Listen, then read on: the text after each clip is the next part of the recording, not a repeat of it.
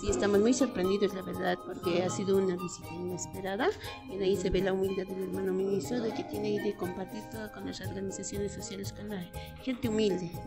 Por eso es que le decíamos que la humildad yo lleve siempre, porque las organizaciones sociales son la base, la población es quien le va a apoyar. Y se ve también la predisposición de coordinar con nosotros como ministro ante toda inquietud que tengamos. Las puertas, como lo dijo, las puertas del ministerio están abiertas para toda la población en general, hay que darle también un voto de confianza ¿no? en ese sentido.